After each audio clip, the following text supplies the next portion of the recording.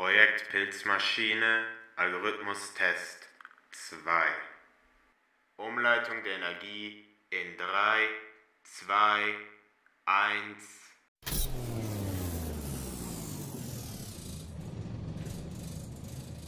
Hochfahren in 3, 2, 1.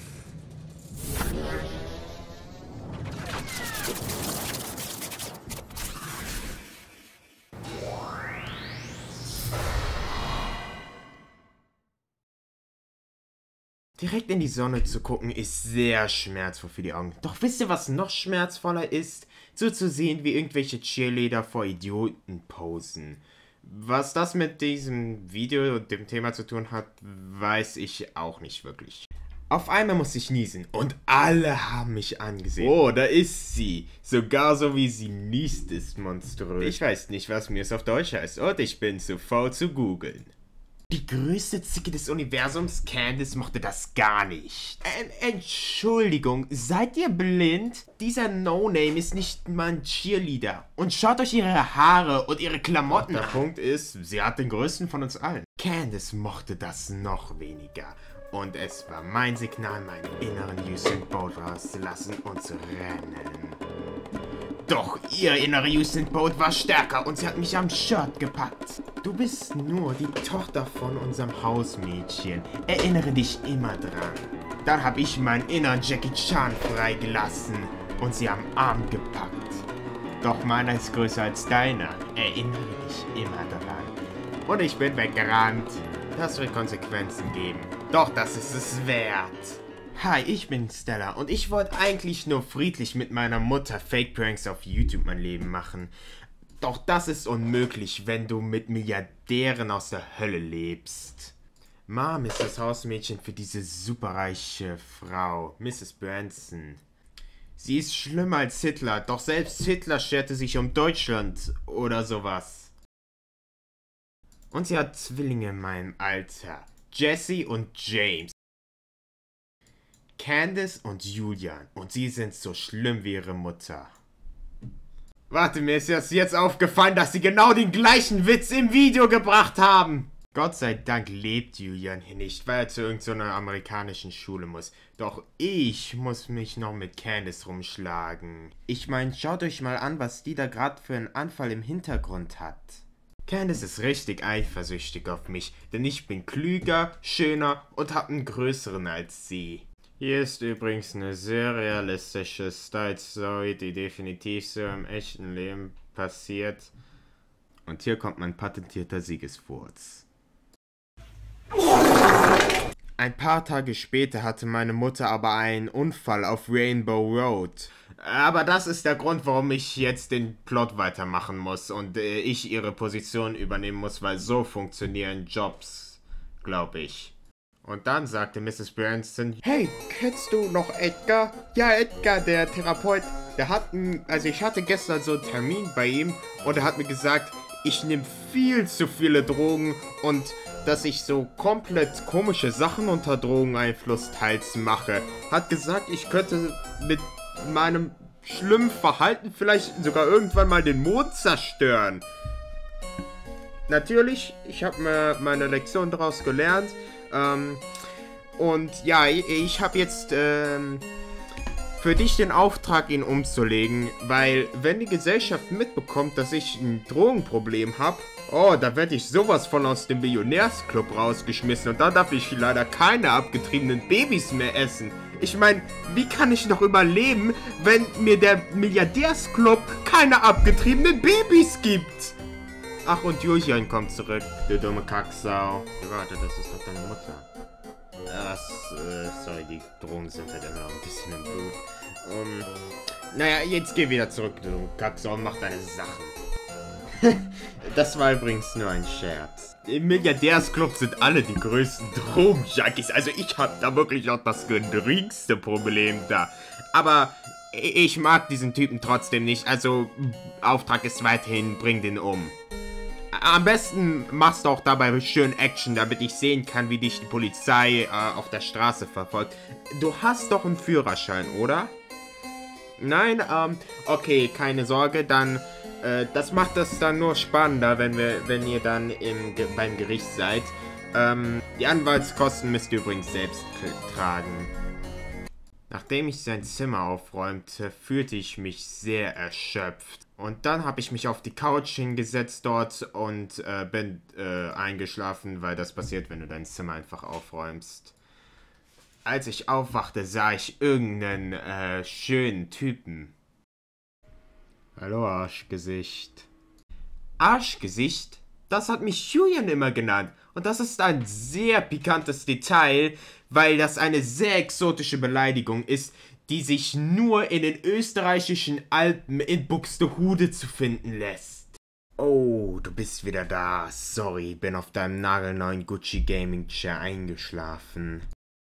Sieht so aus, als hättest du einen interessanten Traum. War es ein horny Traum? Ja, ich hab geträumt, dass ich dir den Schwanz abreiße. Und Rache macht mich sehr horny. Dagegen bin ich mittlerweile immun. Sag mal, warum hast du ein Maid-Outfit an? Hast du etwa einen Weep-Freund und der zwingt dich, das zu tragen? Sie hatte einen Unfall auf Rainbow Road. Und deshalb muss ich sie temporär ersetzen. Den Rest des Tages hat sich Julian dann die ganze Zeit so komisch verhalten. Bestimmt nicht, um mich irgendwie zu verarschen. Eines Nachts sah ich, wie Mrs. Branson einer ihre Taschen wegwirft, weil sie reich ist und ein Arsch. Dann hab ich's mir weggejoint. Meine Mutter war gar nicht begeistert, obwohl ich ihr sichergestellt habe, dass es kein Essen war und wir keine Obdachlosen waren, die es genommen haben, weil wir nichts anderes zu essen haben. Am nächsten Tag in der Schule waren wir inmitten einer Arbeit und auf einmal haben die Mädels angefangen komisch rumzukreischen. Und da war Julian in der Tür. Dann hat er mir einen Luftkuss gegeben und ich, äh, keine Ahnung, äh, ich, glaube, ich, glaub, ich sollte zum... A Eines Tages hat er im Wohnzimmer seinen Workout gemacht. Ist irgendwie fatphobic oder sowas? Entschuldigung, ist das hier irgendeine Art von Scherz? Schade, dass du deine dicken Wangen nicht mehr hast. Ich kann dich nicht mehr Arschgesicht nennen. Soll ich dich jetzt Berliner Gesicht nennen? Wow, das ist echt cringe. Ach nein, Griechen.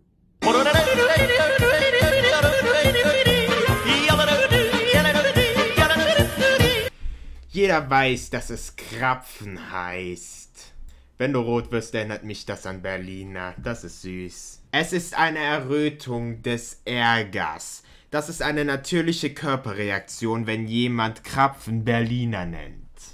In der Schule versuchte ich ihm aus dem Weg zu gehen, doch jeder Versuch war vergebens. Dann kam eines Tages eine Freundin zu mir und sagte, Hey Girl, ich habe gesehen, dass du mit diesem süßen Jungen von der anderen Klasse rummachst. Seid ihr so ein Ding? Nein. Okay, dann gehe ich ihn mir krallen. Und mein innerer Jackie Chan ist wieder erwacht und wollte sie daran hindern. Dann hab ich's realisiert. Ich hab ne Crush auf Ede. Doch das darf ich nicht zugeben. Eine Woche später hat Mrs. Burnson eine riesige Neujahrsparty geschmissen. Hast du jemals von der Tragödie von Darth Plagueis dem Weisen gehört? Und ich musste natürlich helfen. Und Julian hat wieder komplett komisch auf mich gestarrt. Keine Ahnung warum. Hey, wollen wir abhauen? Nee, das ist eine blöde Idee. Ah, also hast du auf einmal Angst. Shit, Negro, that's all you had to say. Wo gehen wir hin? Hm, keine Ahnung. Mal gucken. Bist du deshalb gekommen? So viel Gras können wir doch nie in einer Nacht rauchen. Keine Ahnung. Hey, Bock zu smashen? Ah, ich bin Document, ich werde dich sowas von wegficken. Das glaubt ihr ja nicht mal selbst. Los, geht nicht runter! Ja, ja, nein, ja, nein, nein, nein, nein, nein. Komm schon, sterb! Warum liebst du es, Mario Kart zu spielen? Das ist so gefährlich. Wenn ich Mario Kart spiele, fühle ich mich so wie ein Rennfahrer. Hey, wollen wir mal etwas Foreshadowing ans Ende machen? Oh hey, wir haben lang genug gewartet. Auf einmal war der Nachthimmel voller Feuerwerke, die aus äh, irgendeinem Grund da waren. Oh, ja, ja, stimmt. Äh, es war äh, Neujahr, weil das äh, habe ich nicht vorausgesehen. Angelassen wir das Feuerwerk.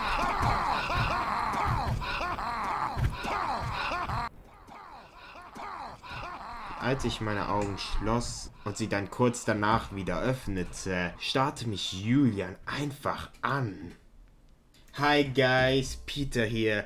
Leider hat Leon keine romantischen Erlebnisse und weiß deshalb leider nicht, ob das hier realistisch ist oder nicht. Doch wir gehen mal davon aus, mit unserem Team an Experten, dass es nicht realistisch ist und nur in Filmen und Anime vorzufinden ist. Auf einmal unterbrach mich mein Handy, weil das ist äh, definitiv keine fiktionale Geschichte, die wir uns ausgedacht haben, um Klicks machen. Das war Mrs. Branson. Wir müssen schnell zurück. Das schaffen wir nur bei Rainbow Road mit 200 CC. Kriegst du das hin? Wetten?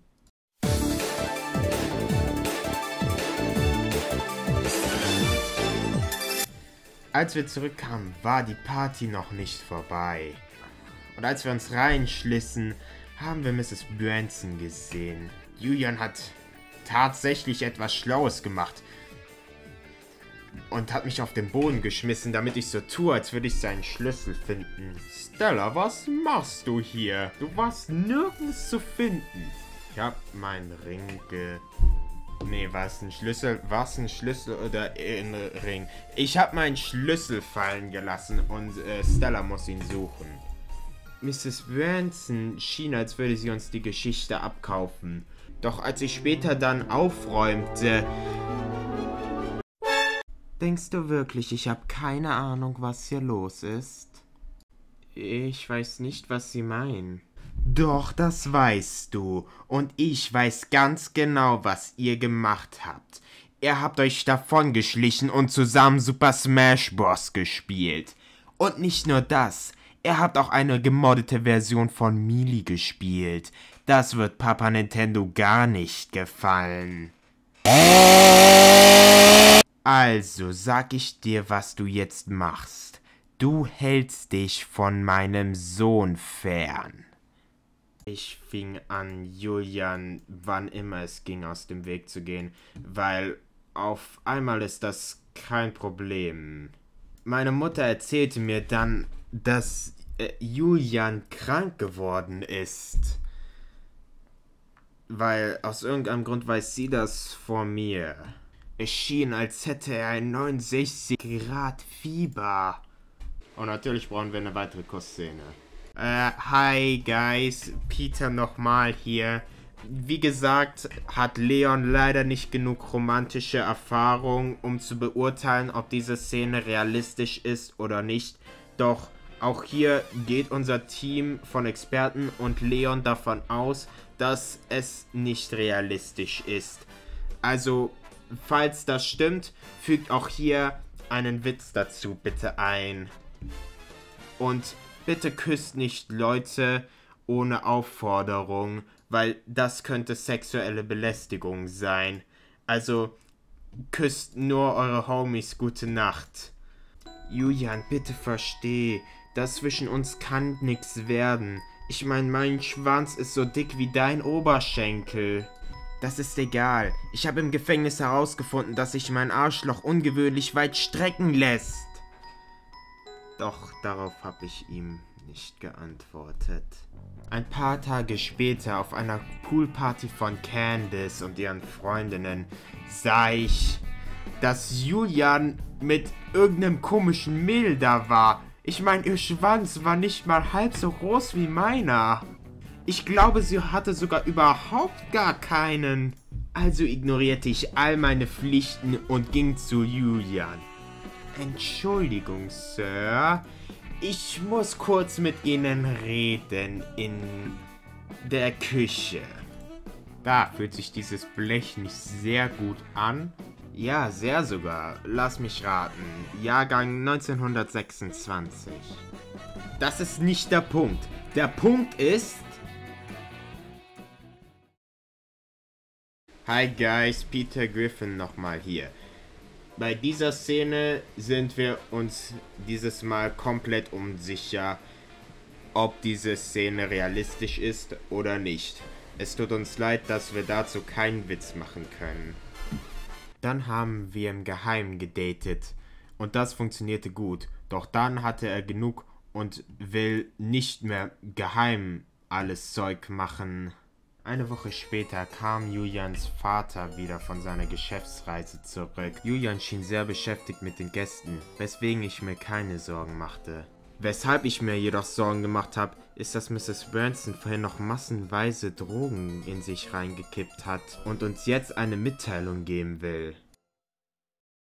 I come to make an announcement. Shadow the Hedgehog's a bitch ass motherfucker. He pissed on my fucking wife. That's right. He took his hedgehog fucking quilly dick out and he pissed on my fucking wife and he said his dick was this big. And I said that's disgusting. So I'm making a call out post on my twitter.com. Shadow the Hedgehog, you got a small dick. It's the size of this walnut except way smaller. And guess what? Oh Here's what my dong looks like. That's right, baby. All points, no quills, no pillows. Look at that, it looks like two balls in a bong. he fucked my wife, so guess what? I'm gonna fuck the earth. That's right, this is what you get. My super laser piss. Except I'm not gonna piss on the earth. I'm gonna go higher. I'm pissing on the moon. How do you like that, Obama?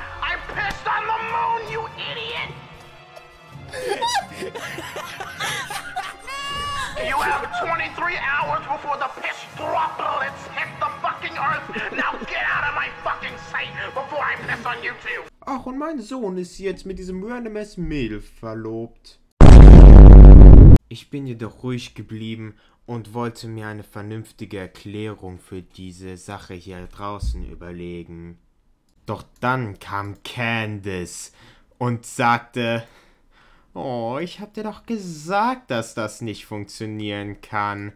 Wisst ihr was? Ich werde mir keine vernünftige Erklärung hierfür überlegen.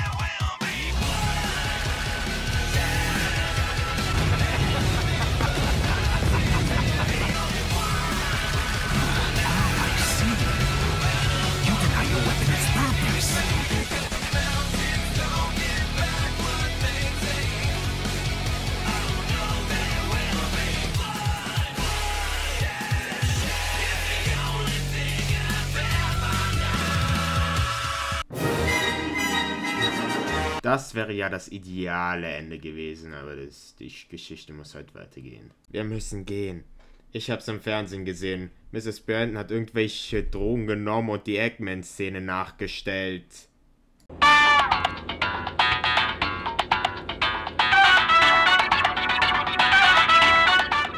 Leider war das Radio zu laut, deshalb konnte ich nicht verstehen, was sie sagt. Aber die Musik ist ein Banger. Das ist die obligatorische Szene von diesen Videos, wo unser Leben bergauf geht und wir richtig Fortschritt machen. Wenn man so eine Szene nämlich nicht in so einem Video hat, dann wird man ins Gulag geschickt und dort exekutiert. Als ich mich dann auf ein Date mit diesem Typen verabredete, stoß ich auf jemanden. Auf jemanden. Natürlich konnte es niemand außer Julian sein. Hallo, ich habe praktisch alles Schlechte aus meinem Leben geräumt. Wir können jetzt zusammen sein, weil diese Geschichte braucht ein Happy Ending. Deine Mutter hat den Mond angepisst und das ist noch das Normalste an euch. Eines Tages im Krankenhaus habe ich Mitteilung von einem Patienten bekommen. Ein schwerer Autounfall auf Rainbow Road. Und natürlich war es Julian. Meine Mutter hat mich emotional erpresst, weil sie ist böse. Wie alle Billionäre. Das ist der realistische Teil dieser Geschichte. Und so eine Zwangshochzeit ist außerdem verboten. Warum ist sie verboten? Weil es verboten ist. Ah, gut zu wissen. Das muss ich mir merken fürs nächste Mal. Hi, guys. Peter. He did the same joke about three times already. I don't think it's funny anymore.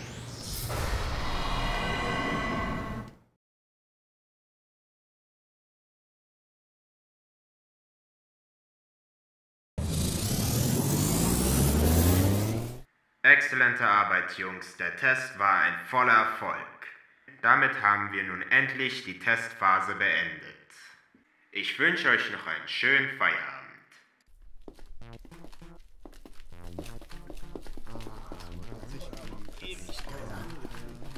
Jungs, nach Hause.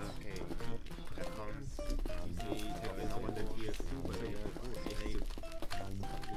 Warum nicht mal? Es dann noch für ja. Der Tag ist lang. Wir haben morgen Zeit.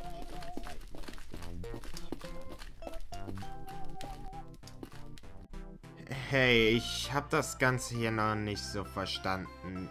Was haben wir gerade gemacht? Oh. Ähm, warum weißt du das nicht? Wir haben hieran die letzten Wochen dran gearbeitet. Äh, ich äh, war im Urlaub. Oh, ähm. Also, das hier ist grob gesagt eine Maschine für Paralleluniversen. Und heute war unser finaler Test, denn der ging für die KI, die damit verbunden ist. Ich hab's nicht verstanden. Was hat das mit einer KI zu tun? Also, der Algorithmus ist dazu da, Universen, die ähnlich zu anderen Universen sind, zu finden. Praktisch eine Suchfunktion für Paralleluniversen. Und in diesem Fall haben wir dieses generische, langweilige, schlechte Storytime-Video genommen und dazu ein Paralleluniversum gesucht. Aber das hat doch alles keinen Sinn gemacht, was da ablief. Hierbei geht es nicht um Sinn, sondern hierbei ging es einfach nur darum zu sehen, ob es möglich ist. Okay.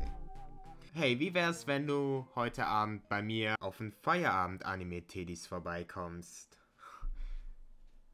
Oh, hast heute richtig die Spendierhosen an. Ja, da kann ich natürlich nicht Nein sagen. Wisst ihr was? Alle sind eingeladen zu Anime-Teddies heute Abend.